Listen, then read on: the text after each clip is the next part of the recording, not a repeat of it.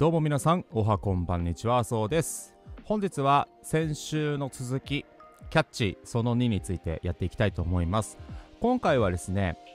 両手でのドリル練習を活かしてそのままバタフライの練習をやってもらいます。これ皆さんご存知ないかもしれませんけれども動作学習をしようとする際左右両手別々にやるより両手まとめていっぺんにやってしまった方が苦手な方もまとめて練習できるので実は効率的に習得できたりするんですよね。ですので、まあ、実際にバタフライ泳げないという方は、まあ、今日は別にバタフライはやらなくてもいいのでその両手同時にやっていくということをね念頭に置いて練習していっていただければいいかなと思います。では中身入っていきましょう。まずは先週までのおさらいですね。腕を戻してきたらキャッチができるポジションまで腕を移動させてそこからキャッチのポーズを作ってってストロークをしていくという流れになります。この動作自体をある程度覚えてきたらこちらの映像のようにそれぞれ確認する手間というのを少しずつ削っていって全体として動作が流れていくように動きを調整していきます。動作をどんなにつなげていったとしても開いていく区間とキャッチをしようとする区間とストロークをしていく区間は絶対に同時にならないようにしてください。同時になると開きながら書いてしまうという先週も紹介したような NG パターンが起こってきてしまいますんでどんなに同時にやっているように見えても自分の感覚としてははっきりと別の動作として行うというところを念頭に置いて動作を滑らかにしていくようにしましょ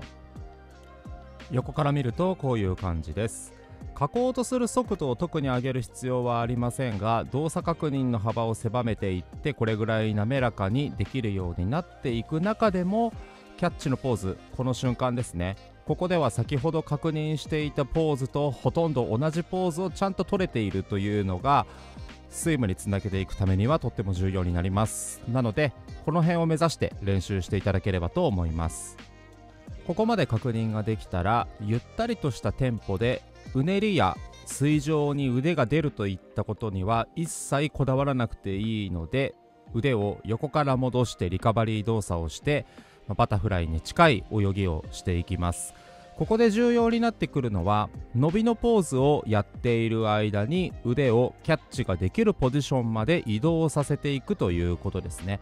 端的に言うと腕を開いていくといった動きになります。ここでも先ほどお話しした通り開いていく区間とキャッチをしようとしていく区間ははっきりと分けていくことを忘れずに行ってください。こちらもしっかりと確認をしながら動作することができてきたらだんだんとつなぎ目をなくしていき滑らかにしていきます。エントリーをして第1キックを蹴った後に多少なり体が水の中に沈む時間ができる方もいらっしゃると思うんですけれどもその沈んで伸びている間に腕をキャッチができるポジションまで開いていくといったことが大事になります。これ伸びてる間ね腕何もしないでこうまっすぐ伸ばしちゃうだけの方いらっしゃるんですけどそうするとその先にスムースにキャッチに移行していくということが難しくなりますんでグライド区間の間にキャッチができるポジションまで手を移動させるということをこれしっかり覚えておいてください。以上のことが確認できたら少しずつテンポを上げて実際のバタフライストロークに移っていきます